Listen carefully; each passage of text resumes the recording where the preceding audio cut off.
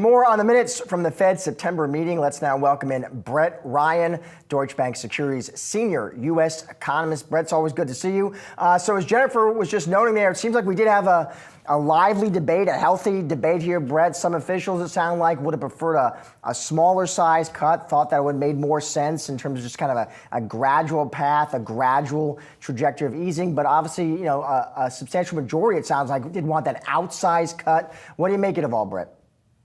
Yeah, thanks, uh, thanks, Josh and, and Jennifer did a good good job of summarizing. One thing I would add to that is that to the chorus of those that were arguing for the 25 basis points, there was some concern about uh, over easing of financial conditions, and that potentially doing some damage uh, to the traje- trajectory for inflation.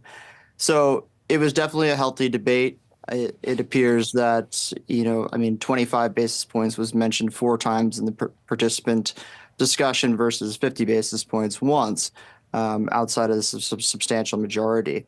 So it does speak to, I think, uh, the the committee's desire going forward, uh, absent a substantial shock, that they're going to be moving at 25 basis points, um, you know, for the the next uh, several meetings right now the the Fed funds futures curve is, is almost exactly in line with our with our forecast, uh, where we expect 25 basis points at the at every meeting through March, and then switching to a quarterly pace, um, settling in at 3.375 by September of next year. But also note one of the one of the points made during that discussion was that it's the destination that matters ultimately.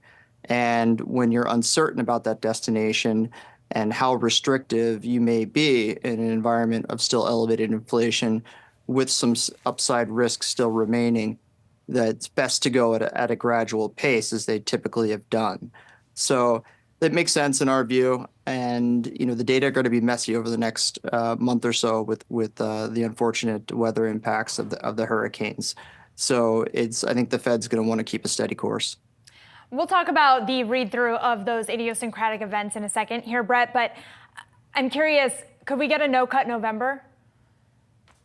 I don't think that's necessarily on the table. I think you need a, a large upside surprise in inflation tomorrow, which, you know, it doesn't look likely to happen. Uh, we're expecting about a 30 basis point, uh, 30 basis points on core CPI.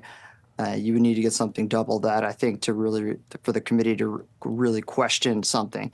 Um, the the labor market data that we got, and that's one of the reasons why the minutes are a little bit stale, is that you know this was before the strong jobs report last Friday. Now, the jobs report last Friday doesn't necessarily speak to a reacceleration of the labor market. It more eases concerns about weakness over the prior couple of months. It basically was was a bit of a rebound. And when you smooth through that, you get the story of yes, it's still a, a cooling labor market, but there isn't any further deterioration in the labor market.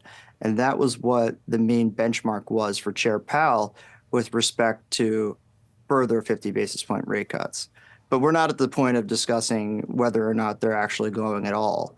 I think you need another, you know, a few a few more really strong employment reports for the committee to question the level of restrictiveness.